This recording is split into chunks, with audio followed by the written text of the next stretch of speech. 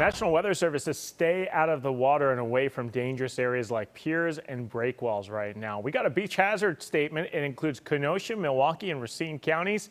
Fox 6's Gabrielle Mays. She's at Bradford Beach and shares how to stay safe along Lake Michigan.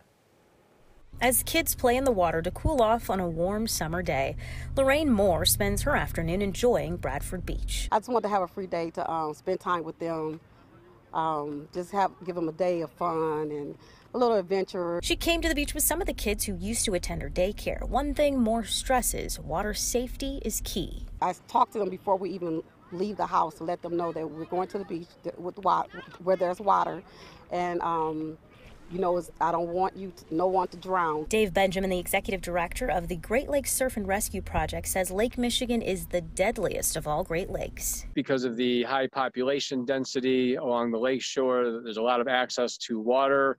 There's a big lack of lifeguards, and it's also a tourist destination. The National Weather Service issued a beach hazard statement from 4 p.m. Tuesday to 7 a.m. Wednesday for Kenosha, Milwaukee, and Racine counties, saying a backdoor cold front today will result in dangerous conditions along Lake Michigan beaches. The swim risk is high. Your chance of drowning in the Great Lakes is less than 1% if you're wearing a life jacket.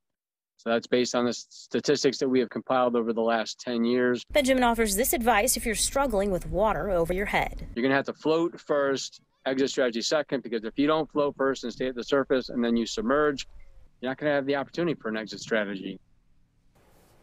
Gabrielle Mays reporting. Gabrielle spoke with Moore before today's beach hazard statement was issued. For those who live in Ozaukee and Sheboygan counties, beach hazard statement has been issued until tomorrow morning at 4.